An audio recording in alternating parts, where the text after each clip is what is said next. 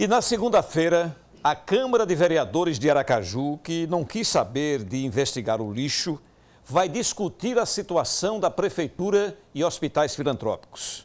Uma sessão especial foi convocada para debater a polêmica que pode resultar no fechamento desses hospitais por falta de recursos. E ontem, o tema na Câmara foi a festa de Réveillon da cidade que ainda não se sabe se vai acontecer ou não. O famoso Nitinho, chefe da casa, disse que a prefeitura só deve fazer a festa se tiver dinheiro em caixa. Ele disse o óbvio. Esse Nitinho é um sujeito engraçado, mas de dinheiro ele entende muito bem, viu?